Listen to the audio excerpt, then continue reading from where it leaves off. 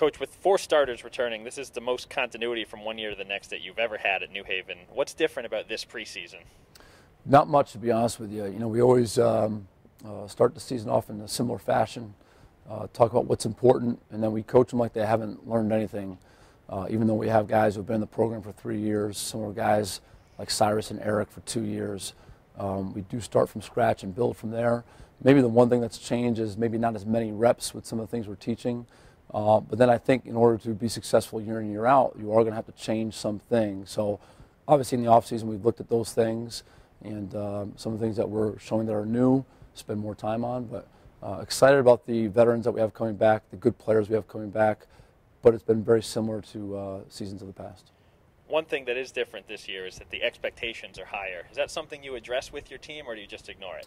Yeah, we've addressed those things. You know, I, I think we're pretty uh, transparent with our team. Um, you know, I think this is such a good group with great leadership, especially from guys like Jeff Atkins, Justin Exum, Ashanti DePass, the seniors. Um, you know, we've addressed it, uh, but we've also shown what the pitfalls are of um, conducting yourselves a certain way with those expectations. Um, and we have such a mature group, a group that's been together for uh, quite a long time. I don't think it's, uh, it's been a huge focus, but we have addressed it. And one of the players with individual expectations, Eric Anderson, the reigning Northeast 10 Defensive Player of the right. Year. Talk a little bit about his development and what he's meant to the program. Yeah, we've had a lot of good players here the last three years. Eric is one of those guys. You know, he's getting some uh, accolades and some publications for honorable mention All American. Um, you know, he's obviously a tremendous defender as a sophomore defensive player of the year in the league. He's a great defensive rebounder. Um, and really what separates him from most players, I believe, not just his size, he's 6'8", 240, but he's just a very smart, intelligent player. And, um, you know, now we've moved him on, around the floor a ton this year. We're actually put him at the guard spot as well. Um, so we're going to be able to put him in a lot of different places. And because he's such a good thinker, a good seer, a good passer, and because he can really play a, a lot of different spots on the floor, you know, his development is, is really blossomed, mainly due to his uh, focus to detail, his focus on improving. Um, but it's exciting to watch his development. I think he'll be one of the better players in the region.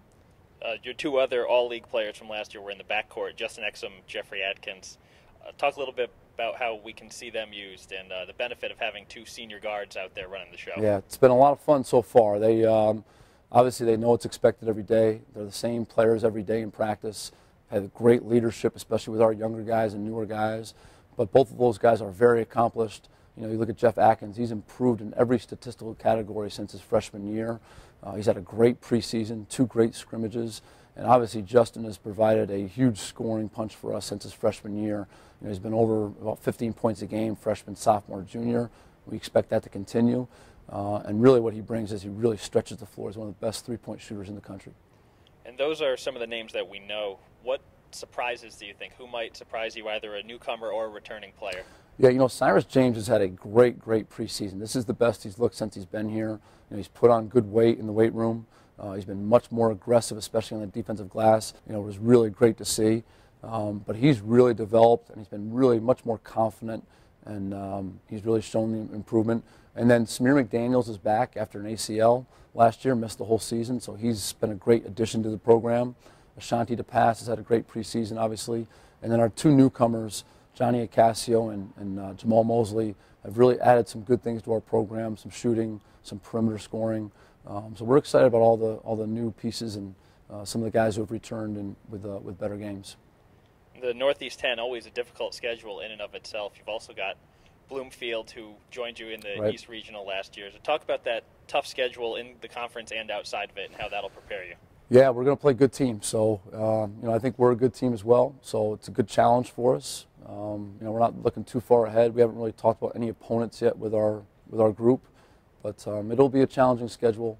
Um, and I think when you're a good team, you're coming off an NCAA tournament year. Those are the games you're going to find non-league. Um, so our first game at Holy Family on the 13th should be a really good test for us. And then moving from there, obviously, the Northeast 10 is, you know, last year was ranked number one by, by several statistical uh, websites in the country as a conference. So obviously, it's a very difficult conference schedule as well. Coach, thanks for joining us. Good luck this season. Thanks so much.